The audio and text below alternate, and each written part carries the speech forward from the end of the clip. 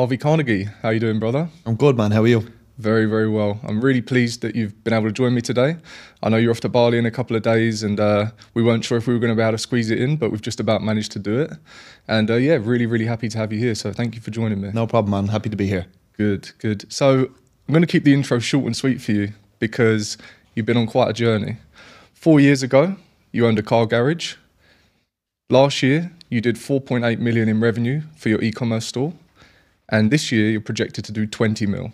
That's the plan, anyway. So that's a wild transition in a four-year period. I think most people don't even achieve that in a lifetime, and you've managed to squeeze it in four years. Now, I was looking online yesterday, and I managed to find an interview you did in the past with Alex Fedotov, and I think that's the last, or maybe the only thing that you've ever done, and kind of, kind of publicly speaking. Is that right? Yeah, pretty much. I have posted like one or two things on Twitter. Apart from that, pretty much silence for me. So unless people have seen that video with Alex, they don't, or they're a close friend, they don't really know your story. Yep. So I know your story now, having watched that interview and kind of spoken to you about it. And I only know up until the point of December 2022, which was when you did the interview. So even the whole 18 months past that, apart from what you told me in the coffee shop the other day, there's probably so much that people don't even know. I don't even know half of it, you know, only sort of like the hour that we squeezed in the other day. But having watched that interview with Alex and you talk about your journey and how you transitioned from the car garage into dropshipping, into e commerce, and that COVID was kind of a gateway to do that, I was able to take in kind of the ups and the downs of your journey, how many different businesses you had on the way, some of the challenges you faced. Um, and I'd love, if you don't mind, for you to kind of just recap on that, take it back to maybe 2020, where it all started in, in that car garage and how you first transitioned into the online space, and then just what that journey's been like, really kind of honing in on the different businesses, but also maybe some of them like head in hand moments, because I know there was a few of them. 100% man. Yeah, so back in 2020 i had like a car garage. We did like vinyl wrapping window tinting. It was going okay but then obviously covid happened and like everything was shut down you know? There was no way we could have kept going. So i had a lot of time to kind of think about what am i going to do? At the time we got paid off the government. Now it was like absolutely nothing but we still had time you know um, so I was thinking, what am I going to do here? And we would already thought about doing like a, a mobile valeting business where we'd have like a, you know a little van, we drive it around, We'd have a little van and we'd drive it around and go to the people's work and stuff like that for people that are busy and we'd, you know, valet their cars. And I was thinking, okay, because I was already spending so much time doing the actual service and all that. So the whole idea was, okay, we'll get it going. We'll get someone in the van that removes me from the van. Then we get another van, we get someone else in it. So I was already kind of thinking about like, how can I remove myself from doing all the work? So going into COVID, I was kind of looking into this a bit more and seeing like, okay, how can I market this? So I was looking up on YouTube marketing stuff, and of course got hit with like a drop shipping ad. Mm. I was like, what's going on here? Yeah. So like then I got more into it. I was looking into all of this, and I could see all these kids that seemed to be making like hundreds of thousands a month, and I was like, this looks great. So I was at a point. I remember talking to my ma about it, being like, I don't know what to do. You know, I could go. I know I'll make either one of these work, but I don't know. I've no experience in any kind of marketing or anything like that. You know. So I had the time and I just watched tons of YouTube videos and I was like, look, this is pulling me. This this is the one I want to go for. So just kept consuming tons of content, opened up a Shopify store, was doing like all the typical stuff, you know, spending hours a day watching like tons of different YouTubers. Um, and eventually like just tested a bunch of products just from the same product, the same ways that everyone's saying on, on YouTube to do. So we were testing all sorts like, you know, LED dog collars, these necklace things, all just like terrible yeah. products, but that's what was being shown on YouTube, you know. So I think I spent probably the first two months just testing stuff out with absolutely. I didn't even get a sale. I remember the first sale I got was for this. Um, it was like a what's it called? A star sign necklace. Okay. So it was like you know it's Sagittarius, all these different ones, yeah. and I think the product cost twenty cent, and I had it on on the website for maybe nine dollars or something like that. I think I spent five hundred dollars and got one sale. so yeah, it, it, was slow starting. It definitely wasn't like super successful straight away. Um, and then the first product that we got to actually generate some revenue was this. It was like a, a toothbrush for kids, and it's like a U, and you pop it in their mouth, and it just like meant to clean their teeth. So had that go. We did about thirty k revenue over, I think, a month. Which back then it was like, holy shit, yeah. this is working. Um, but eventually the Shopify store just got shut down. No idea why. Um, and actually, what happened was we hadn't fulfilled orders. So we had a whole headache with Stripe then. So the Shopify store got sit, shut down. We had probably 30 orders that weren't fulfilled and we couldn't even get access to them. So that was a headache. Um, but just kept going. The next thing we had was it was like a training toilet seat that sat on a toilet and we actually ran it up. We, the supplier said we could actually sell it. Got again, I don't know how much revenue we did, maybe 30k or something mm-hmm. like that. Again, back then I was thinking, okay, this is the second time I've been able to do this. So we got that to work. Then the supplier went, oh, actually, by the way, that's the the wrong price for shipping that I told you. So because this product was, it basically was like a toilet seat that sits on top of a toilet seat with a little ladder on it, and it was too expensive to ship. And I'd already done, you know, a decent amount of revenue mm. at this mm. stage.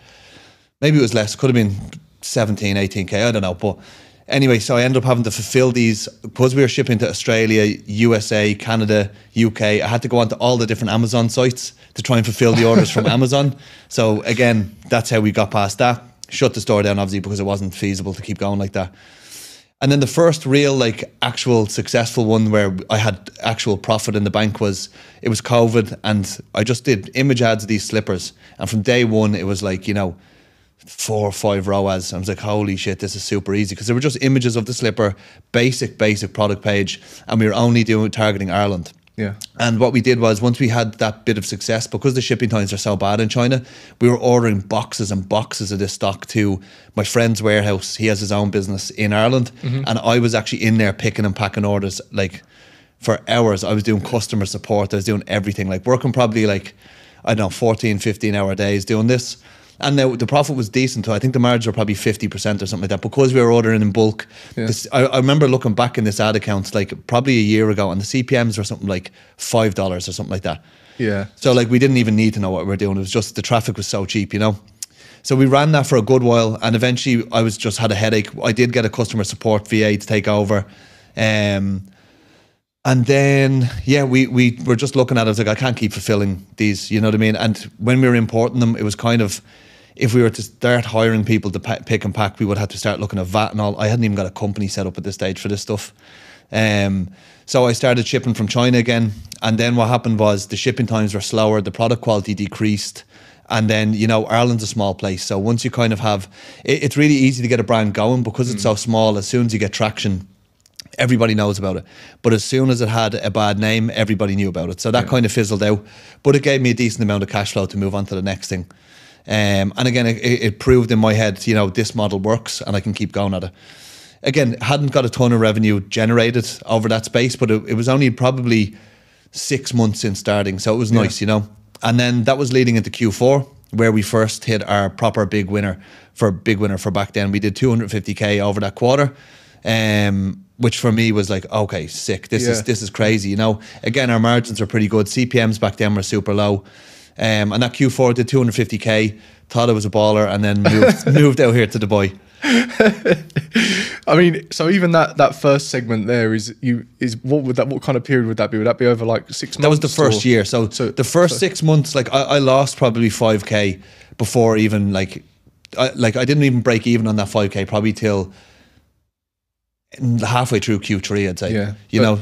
Even in that, how much the, the amount that you learned must have been insane. Like running ads, getting stores set up. Bear in mind, you did all of this yourself, right? Mm-hmm. And at this point, it was purely from just watching YouTube videos, or had you invested in any kind of courses yet? Not yet. So, man, the way I've worked, like I've done a ton of different things. Like yeah. I've I've been a scuba instructor. I've done. I was a DJ, and I, have always learned everything on YouTube. Like yeah. everything on YouTube, and I love learning. So, like when I was in COVID and in quarantine, basically couldn't even leave the house. So instead of look, looking just at these ecom videos, I was like, okay, I need to know how to make graphics. So I did a mm-hmm. Photoshop course. Okay, I need to know how to edit videos. I did a Premiere Pro course. So I did a ton of different courses that were outside of e-commerce, but directly helped in the business. Yeah. So I had learned a ton of skills. Yeah. Um, the Facebook ad side things was just from you know gurus on YouTube. So I had learned all these skills. And then it was actually around the time of that slipper store, I bought a guy called Kim King Com his course. He was only a young guy and he seemed to be crushing it. He's actually dead now. Um, but his course, I think, was like five hundred dollars or something like that. But his course was really set us up for the Q4 store. It was like a really easy approach to building the store, keeping it simple. Like the designs of the store were like you know one color, just really basic stuff, and that kind of led us into that Q4, which allowed us to generate all the profits. Yeah. So even in that first year, you've been through a lot. So that there was four different stores. Yeah. Oh one- no, there was There's ton- more? They were just the ones that worked. There was, pro- I'd say, bro, I'd say there was probably thirty or forty different stores. And the thing about it was, I was like a perfectionist. I didn't want to do this general store stuff, right? So what I did was I built a new Shopify store every time, which Yeah. took forever. Like it took me probably a week to build this from scratch, make a new logo, rather Yeah, than just yeah. you know test the product. But I thought, no, this has to be perfect. It has to look like a real brand. Yeah, so new domains, new Shopify new domains, stores, new Shopify stores, new, new research, new, new, PayPal accounts every time Why new PayPal? because I just thought it has to have the same email. Oh, got you, got you. So you were taking payments through obviously Stripe and PayPal. Yeah, Shopify payments and PayPal. Yeah, yeah, yeah. Okay. So th- about 30, 30 different stores. Yeah, easy. And that's in one year. Yeah. And then by the end of that, you were able to do 250K in Q4. So by the sound of things, well deserved. It didn't come easy and you even had some difficulties along the way. Did you say up until Q4 as well, you were actually at like a 5K loss from So all those? I, I lost about 5k on the first couple of things. And then Yeah. even in between the successes, there was failed stores that had burnt money. You know what I mean? So up until probably halfway through Q3, I was still down. So towards the end of Q3, I had actually started to make a bit of profit. And then obviously Q4 came and I was like, okay, from that, we probably had 60k profit in the bank realized. And I was like, okay, wow, this is sick. Yeah. I think there's probably some people that spend a year thinking about a business name and a logo, and you've had 30 or 40 different stores in that time. So there you go. Like, I think maybe a lot of people take way too much time on the small intricacies where you said halfway through you didn't even have a business set up yet. You're just kind of launching these stores, getting them up and running, doing the market research, rebuilding the stores each time, becoming a perfectionist, learning your craft. I think that's the thing that most people don't realize with ecom is you have to wear so many different hats. Like it's not just ecom, and we'll get into it in a moment where you kind of talk about copyright and things like that. But unless you hire specialists at each of these things, which no one can do at the beginning when you're a new store, unless you've had investment or funding. But you know, if you're just drop shipping or selling someone else's product, I don't know how likely it is you'll get that. So you've got to learn, you know, website design, web store build, ads, copywriting, email marketing, content, just everything that involves running a store payment processing customer support customer services like the list does go on. So i often say i think ecom is a great entry to just exposing yourself to a number of different high income skills because individually all of these are high income skills. You know all of them or you've learned all of them in the space of a year and that's just your, your first year Yeah, man, this is what we were saying in the coffee shop the other day. Like, if a beginner reaches out to me now, I'm like, I genuinely don't know where to start because back then CPMS were so cheap, so you could get away with shit marketing and not the best stuff, and people weren't as exposed. Everyone was saying it was like saturated back then, but now it's like not that it's saturated that you can still make a ton of money in it, but the quality of everything has to be a lot better. You know what I mean? So like back then, I did learn all them, and I did hold on to a lot of them for too long Mm. because like you know at the start we had that success. But like you can't be a master of all these skills. You know you need video editors that are just video editors because they're going to blow you out of the water you know if you're not a video editor. But at the start as you said it is great to even just build up all these skills and if there's one you're particularly good at or particularly enjoy and then e-commerce isn't for you you can put yourself in a position where you can join any other business Yeah, yeah, hundred percent. Well, that's exactly what I did. Mine was a slightly different journey to yours in that mine was high ticket drop shipping using local suppliers in the UK, and I did exactly what you did. I held on for it for too long. It was like my baby. Like I'd spent every single day working on it, building it. A bit a uh, perfectionist like yourself, like set up this this uh, email flow, change this description, try and push this product more, tweak this ad, reduce this CPM. Like everything was just like I would just dip in in and, in and out of everything, um, and I think I held on to that way too long, but. Then I did exactly what you just said and decided to go into marketing and paid ads specifically. Although I do do have shiny ob- object uh, syndrome, especially when we have conversations like this when I'm thinking about ecom. But I need to remind myself to just keep doing what I'm doing until I've uh, got the time. But um, so that's year one, and Yep. then where did we go from there? So year two was much of the same, nearly, man. Like coming into Q1, um, I actually moved. I was actually the end of Q4. I actually moved out to Dubai, um, thinking like I've got this figured out. You know what I mean? yeah. Got over here, had money in the bank, um, and then the first week I was here was like you know I was just meeting up with people, getting settled in, and then kind of got to work. Um, like when I started this journey, like I was a completely different person. So I had first started doing kind of self development stuff and built up some really good habits back home.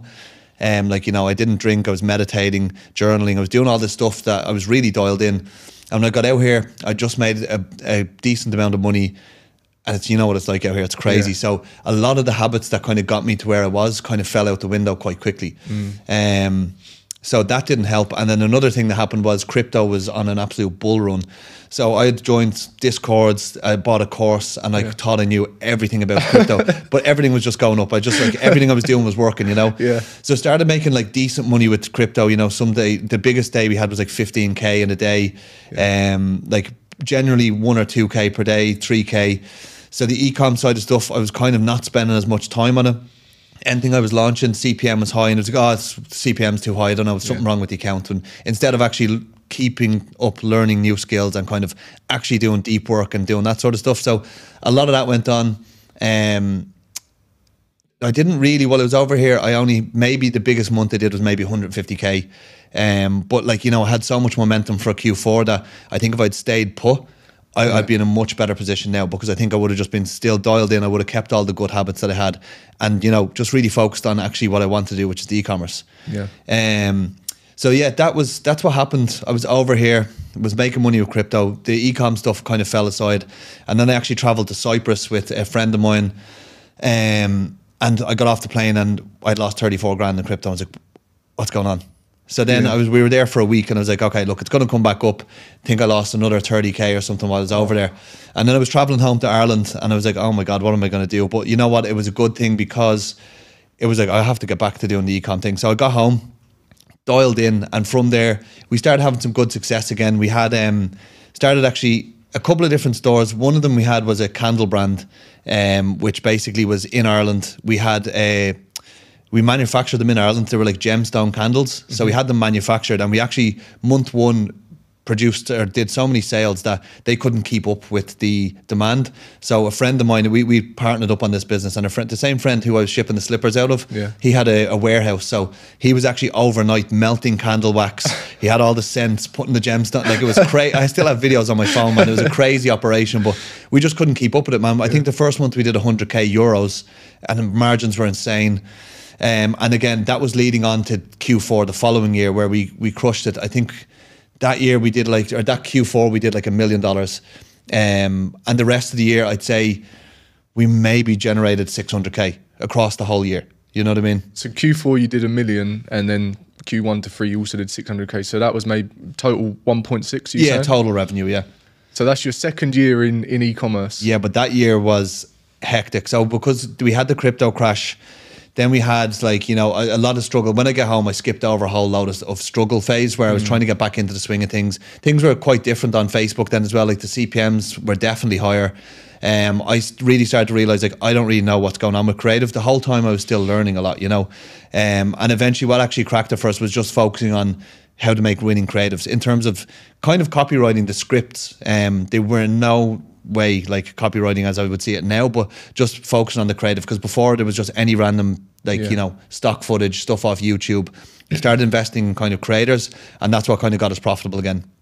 Um, then with that Q4, we were doing I think like 30 or 40 no sorry that q4 we were doing 20k per day i don't know did we actually do a million dollars that year um because it's the same this seasonal offer we run every year so this is we just ran it last year as well but anyway that year we were doing i think about 20 25k per day and i hadn't got a us business or any other business set up it was just the business back in ireland right so we lost our Stripe account while we were doing this, great margins, and I was like, "Oh my god, what do I do here?"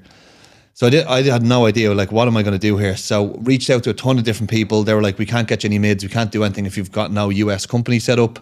Um, and I was looking at it as like, I'm losing 20k per day here. So ended up getting put in touch with this guy who was like, "Yeah, you can rent Stripe accounts from us." I was like, "Okay, sick. Okay, let's do this." So I rented a Stripe account. The deal was the person who I rented off got 10% of everything generated. So I was thinking, okay, look, we're, we were at like 40% margins. So thinking, okay, this is a good deal. You know, it'll, it'll get us through Q4. Ran that. We did whatever it was, 600K or a million. I can't really remember. But basically, at the end of the quarter, um, we were waiting to be paid out some. And it was like, money never landed. I was texting this guy, don't worry, bro, it's gonna come, it's gonna come. And I was like, what's going on here? And I think there was like 250k he owed us, and then he transferred 50k, and then transferred, I think another 50k. Anyway, what happened was we were left, we were burnt for 120k. Guy disappeared off the face of the planet, no money to be had.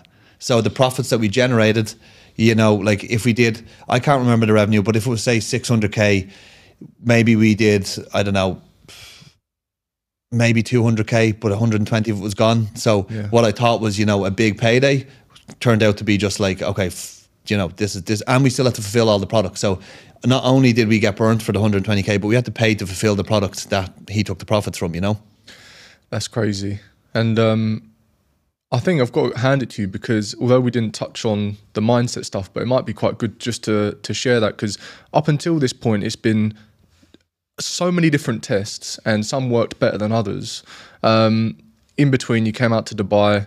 Got blown away with the crypto bull run. I think everyone does it. We we all do it. You kind of got a little bit burnt there, but don't we all? I think that's how you learn. And then come back into ecom, struggled with maybe a little bit of mindset, which I think it might be quite good to touch on, just because it's not all glory. And I, and what you've just said there about getting burned and scammed by someone is just one small example, but maybe what would be quite relatable for everyone that's listening is the day-to-day struggles because there are so many. I know, I know. You know what the way I used to describe my ecom business was an emotional roller coaster. That's how I would describe it to people. And where I, being that I was from like a small seaside town, no one really did e-commerce then. I'm like, it's me and like you said, YouTube. You know, I'd, I'd, I'd talk to my mum about it a lot. She didn't really understand what I was going on about.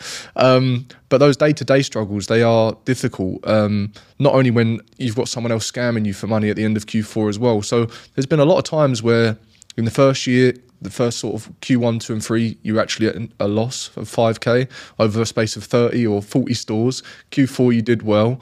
Came out to Dubai, got into crypto, lost about 60, 70k, then did well again in Q4, scaled that, got the Stripe account shut down. Someone's then scammed you. So there's been so many, exactly like I would say, an emotional roller coaster, extreme ups and then boom, back down, up and then back down. So how have you been able to?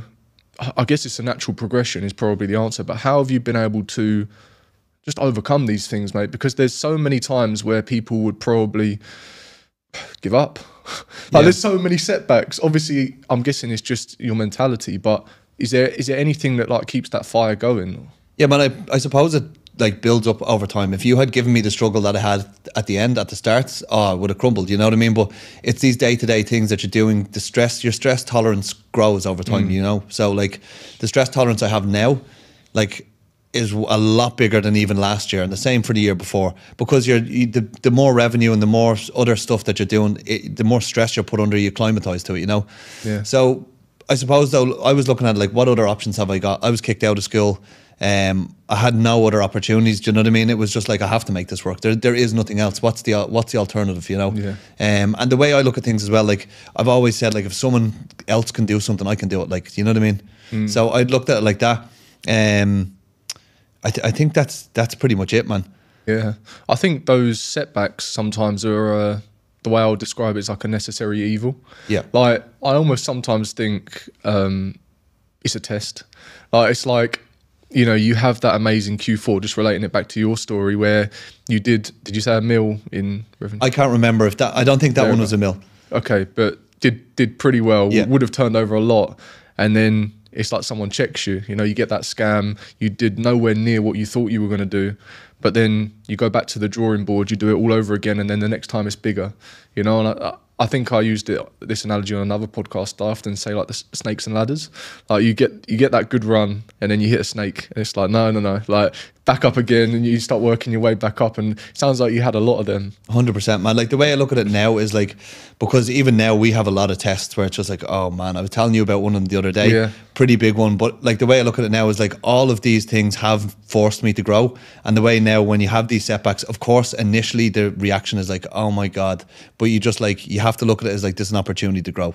You know. Hundred percent. So we're now two years in. Yeah, this is where the fun stuff starts. So coming off the back of just being scammed, um, we still made decent money and we like we had some momentum and there was no crypto or anything like that. Yeah. So coming off the back of that, um, I got st- off to a good start in Q1, um, and then I went to I went to Turkey, and I got I went over to Turkey with my missus, and I got attacked and put in hospital over in in Istanbul. So I was in bits. That was January, just after being scammed. Then PayPal held. Um, yeah, but wait, what, what, what, what happened there? thi- This was a January. We were just out. We went to Istanbul. Yeah. And we were just out in. We were out drinking, and at the end of the night, my missus went in to get her bag, and then came back out and I was being kicked in the face by about six about six lads. So that was a, a good time. And then also got home and PayPal had. This is why we don't use PayPal anymore. PayPal had debited, I think, like 32k from our account. Um, so that was we had the 120k loss, and then this PayPal one as well. So that was the start of the year, and I was just thinking, oh my god, here we go again. That was tough because we had, I just got over the initial, you know, December stuff, and then this is how January started. But again, got over pretty quickly, to be honest. Um, I was like, this is just just part of it. You know what I mean? Yeah. So was launching stuff. Everything was seemingly going well. Like we were generating consistent kind of profits. It was good. Um, and then we moved to Marbella, which is great. It was really nice to kind of get out of Ireland again. Um, you know, I'd left the boy, and the plan was never to be in Ireland anyway. So left Ireland, went to Spain, which was really nice. Um, and we were generating some money. And then the iOS update and happened around that time. So stuff started to get a bit shaky. I think it did for everyone. Um, and again, we had those on and off months. You know, some months we do 200k, next month is 50k, next month, do you know what I mean? Just these, these crazy ups and downs. Um, and I was just thinking, like, I'd actually met a good friend. You know, Jordan, you've met him too. I met a good friend over there. I'd known him through Instagram, uh, and we linked up. He was in Marbella too, and I remember showing him these advertorials. I, there was very few people I knew talking about them. There was a guy who was in Alex's program, Paul Nicholas, and I heard him talking about them in an interview with Alex. I started looking into these, and I was like, man, I, these, these are crazy. I remember sitting at the desk with Jordan, being like, look at these, like these are crazy. So I was like, okay, I have to learn this. Um, this is because we're just so inconsistent. And the other thing is like before I learned all this stuff, I didn't know why anything was working. It was literally throwing shit at a wall. You know, you're picking a product because it's trending or it's popular or it solves a problem, and then the video ads you're making are just like you don't really know what you're doing. If something works, you don't know why. So I was like, I I have to kind of reevaluate this. We had consistent profits and it was fine, so I wasn't like struggling for money. So I actually stopped launching stuff. Um, and at the time, there was always people reaching out to me saying, like, can you run ads? Can you do this? So I took on a couple of ads clients just to cover rent, stuff like that. I had three clients back then. Funnily enough, one of them was a candle brand. Um, and I was thinking, okay, so I got into the advertorials and I took the Stefan Georgiou RMBC method course.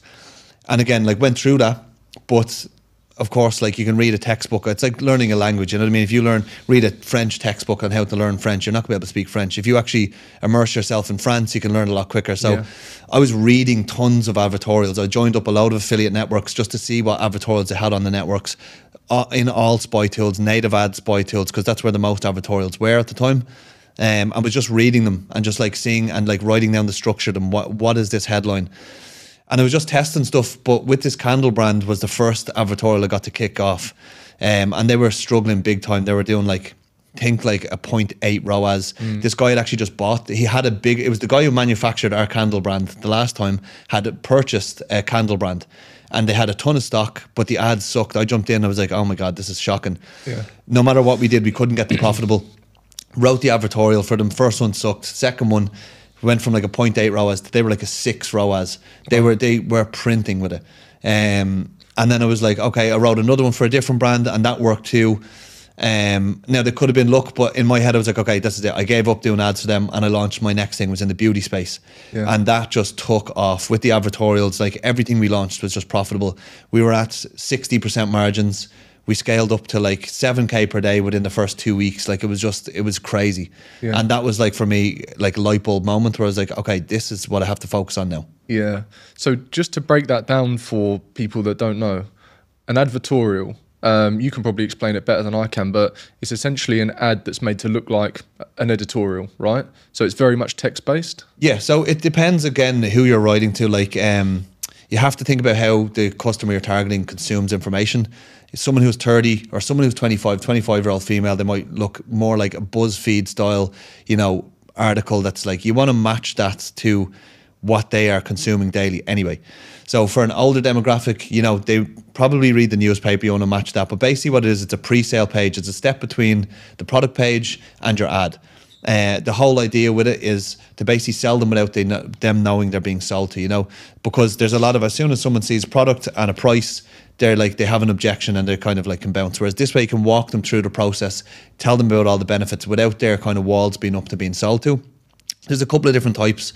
There's a, you can do story based ones. You can do like breaking news ones. There's listicles like ten reasons why. But basically, it's just a step between your ad and the product page. Yeah. So let's run them through a scenario. Then you've got a meta ad, mm-hmm. and say someone's seen that ad, they've then clicked on the ad. It takes them to a landing page, which is not a Shopify page or a product page. It's an advertorial, mm-hmm. which is where you're kind of doing the selling. Yep. And that's built depending or, or built to suit the target demographic. From that point, they then have the option to click through to the Shopify page or the landing page, product page, where they should by that point be ready to purchase. So that's that's the setup in its simplest form. Yeah, basically. So it's like, you know, you're warming up the traffic almost. So when they, Yeah. by the time they hit the product page, they're a lot warmer than your initial. If you're just drive a traffic, uh, drive traffic from Facebook right to a product page or a landing page, you know, it is cold traffic. Whereas this, the traffic is a bit warmer. Yeah, hundred percent.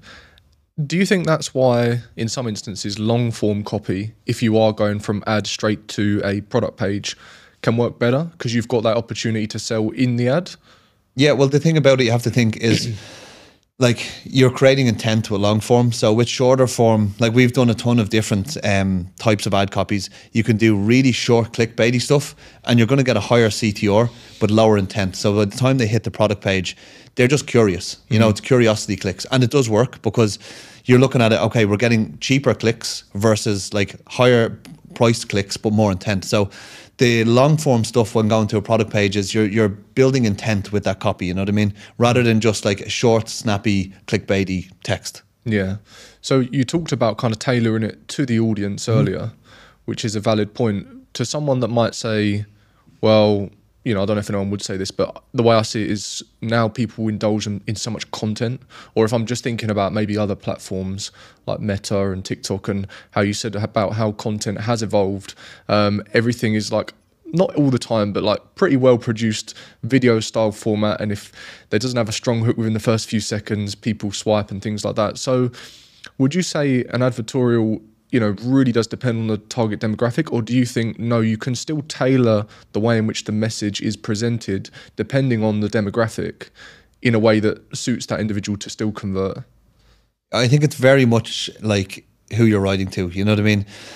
Like the the really long form stuff. If you look at any of the like the Golden Hippo stuff, which is like a billion dollar company, they do tons of different long form stuff. It's all to older demographics. So their VSLs could be like 40 minutes long. This is an ad that's on Facebook being ran, and then they might hit another advertorial and like they, they will consume that. Whereas someone who's like 18, 19 years old, they're not going to sit there and consume a 40 minute VSL. The same applies for your advertorial.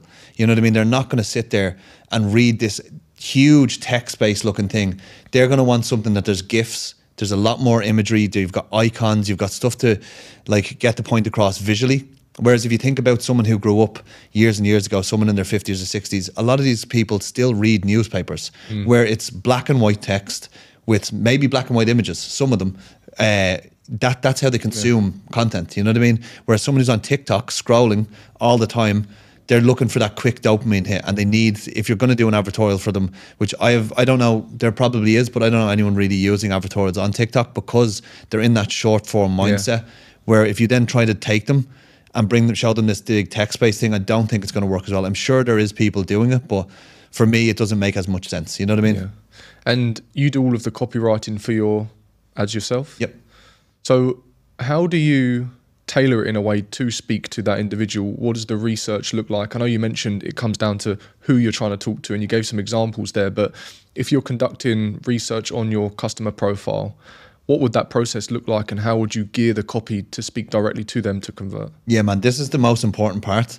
And it's like when I first started, it was the part that I was just like, ah, yeah, look, I know who I'm writing to. But, and even with AI and stuff, you can speed up the research process. But actually, I feel like you shouldn't at the start because, like, I could spend a day or two days just doing research before I do any writing. I will go onto Amazon, I'll export all the reviews. and I'll actually read through all the reviews and watch. Like Amazon is a gold mine. You'll people who leave, especially with pain relief or skincare, they'll leave these golden nugget reviews, and you can nearly write a whole advertorial based off of this. But we'll keep all them.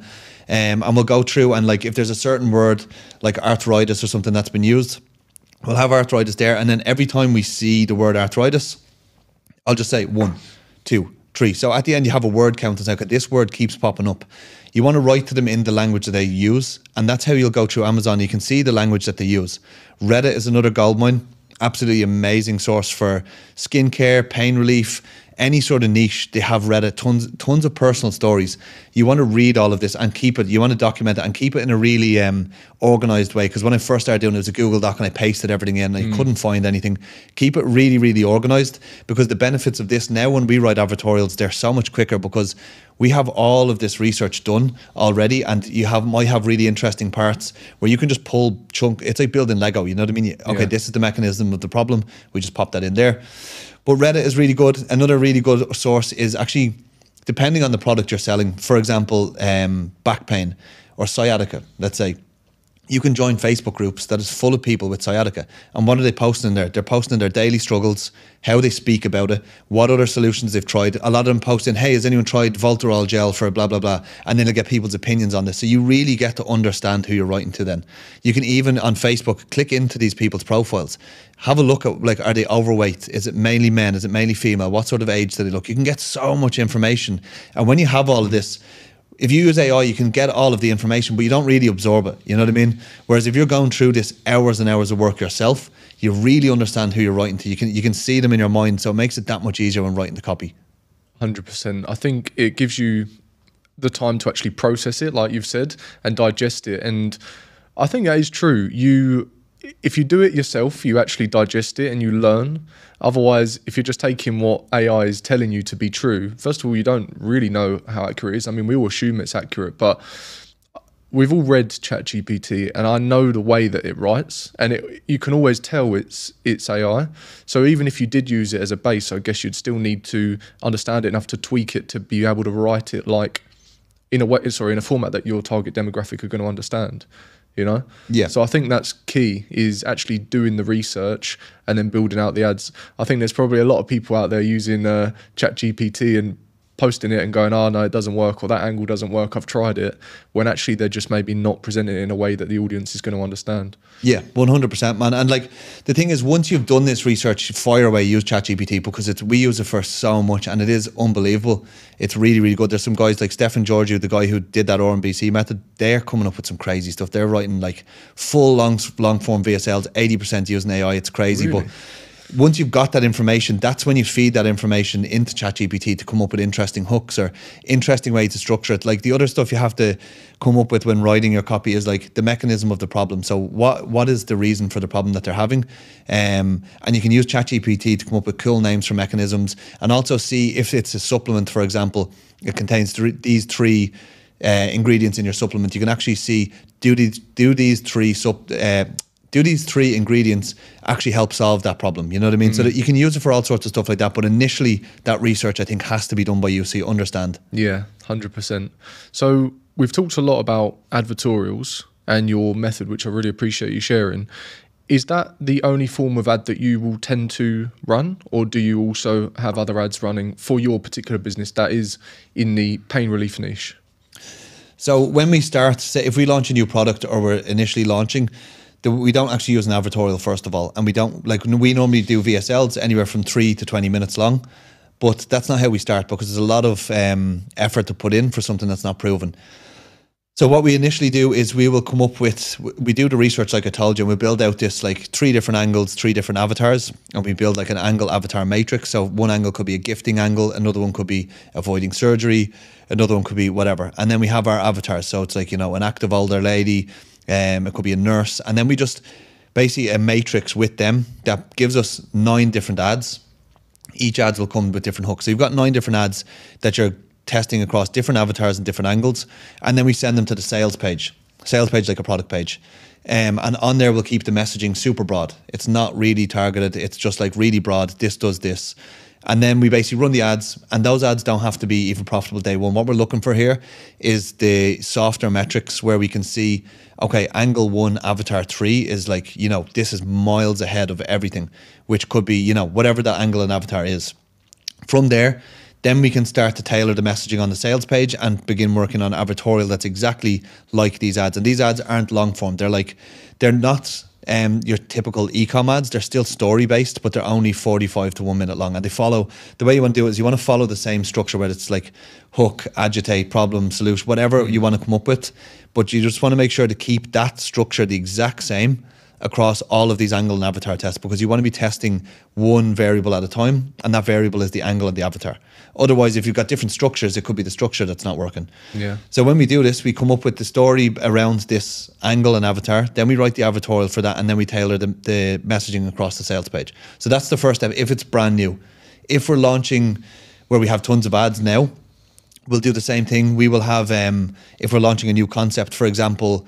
Um, one could be they want to avoid surgery for back pain. Um, another angle could be, you know, someone who can't sleep due to back pain. So obviously, if we run a, a VSL or a video ad talking about avoiding surgery, and someone just has they can't sleep because of the back pain, there's a message mix match there. Mm. So what we'll do if we're launching new ads like that, first we'll test them to the sales page to gen to see okay what are the metrics looking like, and if they're good, then we'll write the advertorial. So we don't just go writing a bunch of advertorials uh, unless we validate it first, you know? Yeah, that makes complete sense. I think that's a really sensible way to do it. And it's really interesting to hear about the method that you've worked out to be able to do that. At the start, did you start by building out the advertorials, then realize how much time you were wasting, or did you always have this kind of method? no, place? I definitely didn't, man. I didn't even understand concepts and angles. I just, yeah. it was very new to it. So I was just like writing what I thought was good. And basically, what I did at the start, which actually, kind of I learned the most from was I was just rewriting like uh, these affiliate network advertorials. So it was mm. just like, okay, what does this headline say? And I change it for our product. Um, and I feel like, you know, I do copywriting, but I'm in no way a copywriter. You know, there's some guys that are just copywriters that would just blow you away. Yeah. Um, so I tend to stick to like proven frameworks. I learn a lot from other people that are actually genuinely really good copywriters. And I just use that framework tailored to our messaging. Um, what was the question? Sorry. Slipped my mind as well now. did, did, did it always oh, yeah, start sorry. that way? Like, did you have this kind of built out process yeah. or is it, has it been that natural progression? Yes. Yeah. No, it was natural progression yeah. for sure. Like when we started, even up until the start of this year, it was kind of very like, okay, we'll write it. Oh, I think this, I'd come up, I'd find some bit of research somewhere that was such a cool story that I was like, this is going to crush. And I just write an advertorial, story based advertorial on it. We'd launch ads to it and it would just flop because mm. it was mm. just like, you know, uh, completely shooting from the hip. There was no yeah. kind of methodology to it. See, I wonder how many people would do that and then go, advertorials don't work. Yeah. But it's because they've not done well, one, all of the research on the Facebook forms, the Reddit forms, all of the testing. I think people are too quick to say that a particular method doesn't work until they've actually cracked it. One thing that you said that you're moving on to this year that you want to try and crack is Taboola. Now, I'm cautious that we've gone like way into advertising and maybe not shared um, some of the recent things that you've kind of been through. Is was there any more to the journey that led to launching the brand before we go off on a tangent with Taboola? The, our current brand, yes. Yeah, so it was basically again we were running up, like I said, we did that skincare thing, and we we were running tons of stuff up there. We had an amazing Q4. Then after we did a couple of mil, um, and like things were really good. And then I decided to launch a brand uh, in the skincare niche where I was custom custom building, getting all the formulations made, and wasted like two or three months on that um, and didn't really have like I, I thought this is going to be great. Like you know, we're going to launch a skincare brand, and it just ended up taking so much time back and forth, getting samples sent to Ireland, making sure the product was good. Wasted like two or three months, and then I was just like, oh look, I'm just going to launch a brand, but I'm going to do it with a product that exists already that we can then just make better. But I did, I wanted to get out of that drop shipping, you know. Yeah just testing different products month to month. We could have different stores. The longest store we had probably was three months or something, you know. So I wanted to build something more long term with the idea to make money, but also to exit. Um, but the main thing was, you know, it has to be profitable front end. It wasn't just like just an exit play. So we decided to shift into the pain relief niche because again, it's like you know, it's easy to use this direct response stuff with pain relief products. Um, and that's where we went from there. I found a product that wasn't really, no one was really selling at the time. There was lot, tons of products that did the same thing, but this particular one wasn't there. So we just launched it. I started by doing the exact process I just spoke about, where we did the angle avatar matrix, and we, we were successful like nearly straight away. And we scaled it up. I think the first month we did like 150k. It was just like profitable straight away. Um, and that was pretty much it. We we had no real road bumps, yeah, ups and downs of Facebook and stuff like that. But since then, it was just like it kind of took off. I think you had enough road bumps along the way to to get them over and done with, didn't you? Yeah, hundred percent. Are there any things that you're kind of facing at the moment? I mean, is it true what they say? More money, more problems. Are the problems just getting bigger, or is is it at the point now where you know, like you said, you're climatized to that level of stress that it's just it's the day to day? Definitely different problems. Yeah. Um, different problems. Like for example, now, it, like I'm really, really impulsive, and I think it's a bit more managing yourself than than the business because I'm super impulsive, and it kind of got me from where I was to where I am now. But it, it's definitely what limits going any further because every time we scale up to the the big numbers, like it, I'm all over the place because I'm just kind of like, yeah, launch this, do this, do this. Whereas I've had to really look and say like, okay, I am actually the bottleneck, but just by not making calculated decisions, just like there's, there's different types of decisions. Decisions you can be super like, okay, just go for it, and then other decisions where you have to be quite calculated because it's not just a monetary cost; it's time costs, mm. all this other stuff. So now we've actually we're holding steady and we're focusing really on building out our processes because it's one thing we really lacked was clear processes that everyone knew so the business would run smooth because as we got busy and the pressure was put on the team, I ended up jumping in here and there, and I, would never really explained because every a lot of this comes from my head. I'd never really explained how things were meant to be done, and I just hired, expected people to know what I knew. You know what I mean? Mm. So that's one of our biggest things now is kind of just really getting building a company rather than me being just the entrepreneur trying to do everything. Um, and it's definitely difficult for me. I'm definitely not a I'm, I'm not naturally a process driven person. You know what I mean? And we've yeah. a great COO now who's really helping with this. But um, yeah, that they're the sort of problems we're dealing with now. We we can get up to scale. There's no problem. But it's actually when we're there, I'm crazy. I'm like, uh, I'm not sleeping. I'm trying to do everything. There's tons of fires to put out every day that I can't focus on doing what I do best. You know? Yeah. When you're saying about not sleeping, there's one thing I wanted to add there because you just jogged to my memory about how you said you had some of your best months to date and you were managing the ads and you were spending so much on your daily budget that you had to get up every two hours throughout the night to check that the ads were performing so that you know you had enough time to turn it off if it was just blowing through budget. So are you still running the ads? I'm still i'm not launching ads. I'm i'm doing scaling but like what you just said there like when you yeah. say it back to him like that makes no sense. You know what i mean? If you were to tell someone they're like why are you doing that? Yeah. you know there's you can get facebook media buyers. They're not hard to find. Yeah. um but yeah man like we were doing like a million, two million in a month, and I was up. We'd launch a new budget, a new campaign for say 30k, and we'd have three of them going. So it could be potentially 90 grand worth of spend going out that day. Now we'd kill two of them, but like I would get up and then I'd go to bed at 12, say. I'd wake up at 2 a.m. to check because if something was performing bad, you turn it off. And at that budget, if you turn a turn an ad off, Facebook will still spend. It can still blow through 4k or 5k before the ad actually stops running. Mm. So like I was having twitches, eh, like it was all over the place. Like yeah. I was making the most amount of money I've ever made, but it was probably the unhappiest I'd been in years. Yeah, you gave gave up your peace for yeah, completely, for completely. Was that last year? Are we, were we talking about last year? Last year wasn't as bad. I had a, a team last year. Yeah. Uh, the year before that was when we that that was the worst time. Mm. Um, and I was like, just I was doing everything. We were doing 100k per day at one point, and I had me, two VAs, and a video editor. That was it. I think when we met for coffee last week, something you said kind of really stuck with me because it's something that I've done recently. You mentioned about for a very long time you did as much as you could for as long as you could until you absolutely needed to hire. And that's what me and my business partner did as well. And then Q4 last year, when things really ramped up, we were like, oh, we need, we you know, we need to hire, we need to get staff on. And now what I feel like we've done is what you described as like buying back your time.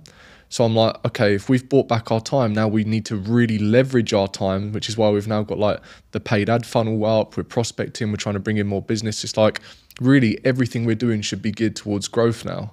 So that kind of really stuck with me because I know there's a lot of people that will hire as quick as they can or you know try and systemize this process systemize that sometimes i think you've just got to kind of figure it out and once you've got everything in a position to be able to hire the right people and you've got enough budget there to be able to fund it and everything's in position and ready to go, then maybe that's the right time to hire. Would you agree? Or as someone who's done a lot yourself, when would you say is the right time to hire?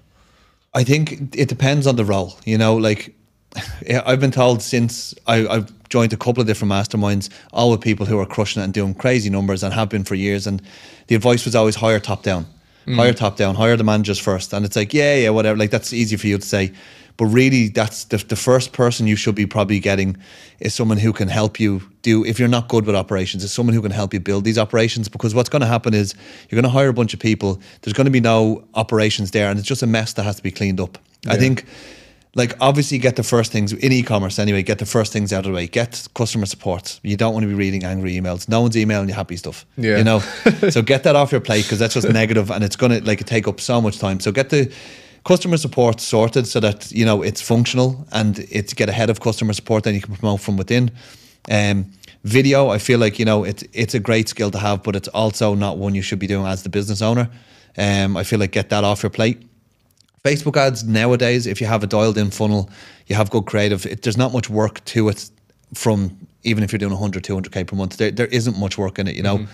So I wouldn't worry about that. After that, probably would be like some sort of operations manager if I was to go back mm. and pay for them, pay well.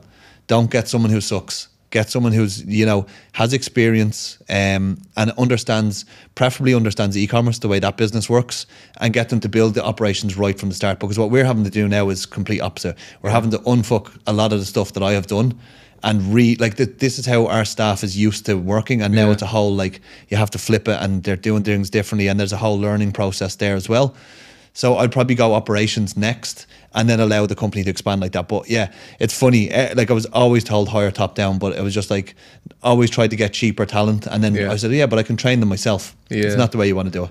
Yeah, I had some advice recently, which was to um, rather than train the individual, build the process and build the SOP for them to follow so that if for whatever reason they're gone tomorrow, you can get someone in that can then follow that process. Yeah, 100%. But like you say, I think it's difficult to run your business a certain way and then try and implement a ton of processes. And that's kind of what we're doing at the moment. Because it was just me and my business partner for so long, a lot of what we were doing was was up here in our heads. And then all of a sudden, you know, we were a team of six and we're expecting them to do things the way that we do things and they're not. And so we're like, you know, we've got everything in Airtable now, we're building out all of these SOPs and just trying to get everyone on the same page. But it's difficult, especially as they've been with us eight weeks now, and a lot of these are new processes that we're implementing. So I can only imagine how that can be difficult at scale with a business like yours. Um, how did you find hiring? Because hiring is a sort of thing where you don't get much um, practice, right? Like, and you could hire someone, and it might take a few months, like a couple of months for them to really settle in, unless they are like like you say top down. I guess maybe they'd probably be able to come in and take over straight away. But for the people that I've hired, it takes a little bit of time getting them in, training them on the processes, or you know getting them up to scratch. And hiring is just not something you do regularly. So I've found it to be quite a difficult process where you throw yourself in at the deep end and you've got to be quick to learn because those those kind of decisions or the people you bring in can make make or break your business. You know. Yeah, man, there's a lot in this. Like, again, as I said, if you'd hired your, an operations manager first for me, that's you can allow them to go and do the hiring. Um, but I've definitely made massive mistakes with hiring where I kind of just filled positions as they came up with people who probably weren't qualified. Um, and like we've had it in the company where like one bad hire can really mess things up. Yeah. Um, like especially when they're communicating in, internally with other people and like the bad vibe there can just rub off on other and it's very hard to get rid of like even when you get rid of that person that kind of lingers. And we had that a while ago with some editors that we had and it really messed stuff up for us. Um the, the way we hire now is is way differently. So before it was like online jobs um going through tons of interviews because there's so many people who say can do they promise you the world but they'll mm. never really fulfill it but we kind of just like to use LinkedIn and kind of just go to companies that are bigger than us or doing we're doing bigger things than us or they're a bit ahead of us and just like approach them and say like, you know, hey, open to new opportunities. A lot of time we'll get a message back. No, thanks. I'm, I'm happy where I am. Or yeah, can you tell me a bit more about it? Mm. So we've had two really good hires now in the last this year have been really really good and both from LinkedIn rather than online jobs. Also met a guy over here, recruiter. Um, and that's taken so much stress off us. Like he's, we just message him. This is what, exactly what we want, and you can be as detailed as possible. I want a Facebook media buyer who has experience with funnels, who knows creatives, who can use motion, who can do this, that, and the other, mm. who can do you know 10, 100 push ups, whatever, and this guy will find them. You know what I mean? It takes it off your plate. yeah, yeah. Um, and then he'll pre vet them as well. So you're not wasting your time. The biggest thing with the hiring was wasting time. You get on yeah. call and go straight away, this guy can't even speak English. You know what yeah, I mean? Yeah, no, for sure. So we've talked now about kind of your journey um, leading up to the point where you have the company that it's today took a bit of a deep dive on, dive on uh, advertorials, which I think we'll probably lose a lot of people on that. In that we've kind of gone a bit deep into ecom, but it's great. I, have enjoyed it. Um, copywriting, hiring. So now what I'm curious of is like, what does your day to day look like? Uh, look like because you're also a father, right?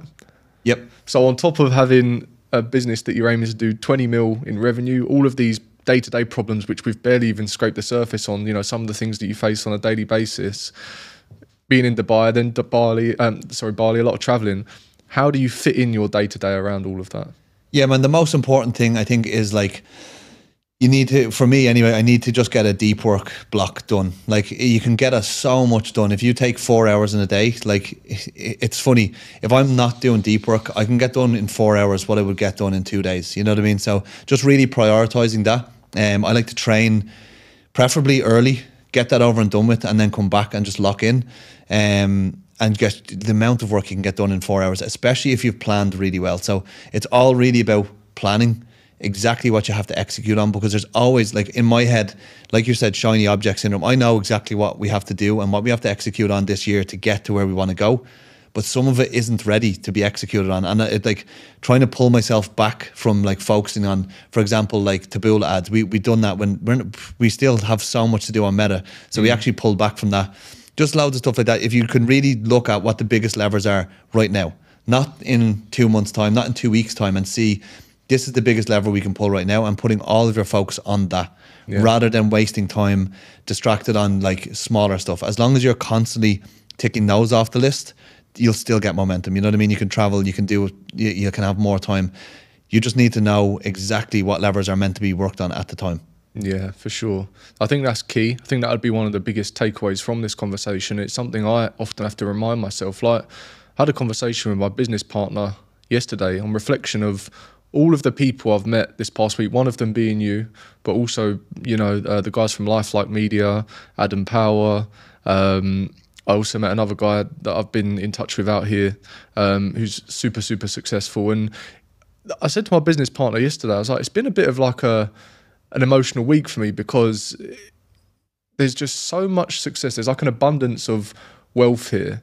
And what would consider to be doing well back where I'm from yeah, in the UK, we were only saying this the other you're day. like the bottom of the pile and you're just listening to all these people and what they do and yourself being one of them, you know, the challenges that you've been through and the resilience that you've got and where you've got to, and obviously so deserving of being there. It just made me really sort of reflect on everything that I'm doing, and it, it's like, am I doing something wrong here? You you have this massive inflection point, and I, I really analysed everything that I was doing, and it was probably one of the best things that I did because I see so clearly now everything that I need to do, and you know, I have it almost every few weeks normally, like this light bulb moment, and it's kind of like gets me back in line about what I actually need to do to, like you said, the lever that's going to move the business the most.